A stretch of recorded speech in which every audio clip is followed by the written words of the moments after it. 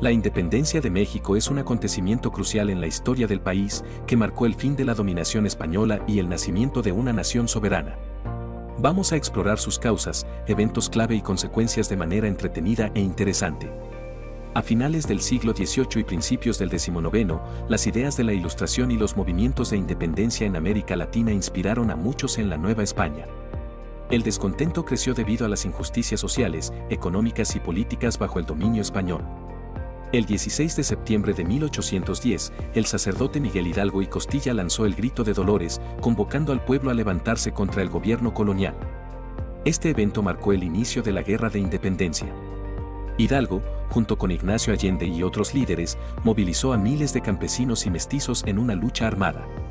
A pesar de algunos éxitos iniciales, Hidalgo fue capturado y ejecutado en 1811. Sin embargo, su muerte no detuvo el movimiento. José María Morelos, otro sacerdote carismático, tomó el relevo y continuó la lucha. Morelos fue un estratega brillante que organizó ejércitos y logró importantes victorias, además de convocar el Congreso de Chilpancingo en 1813, donde se declaró la independencia y se redactó una constitución. Morelos fue capturado y ejecutado en 1815, pero la lucha continuó bajo la dirección de líderes como Vicente Guerrero y Guadalupe Victoria.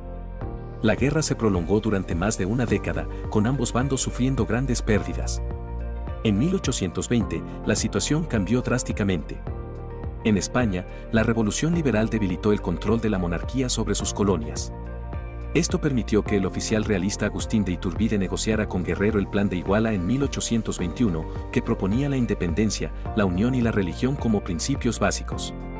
El 27 de septiembre de 1821, el ejército trigarante, encabezado por Iturbide y Guerrero, entró triunfante en la Ciudad de México, declarando formalmente la independencia de México.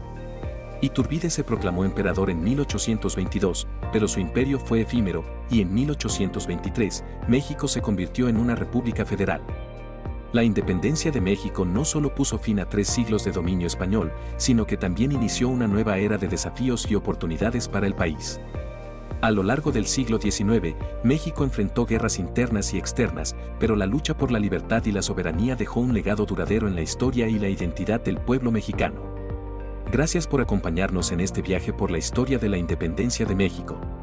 Espero que hayas encontrado esta presentación tan interesante como crucial para comprender el México de hoy.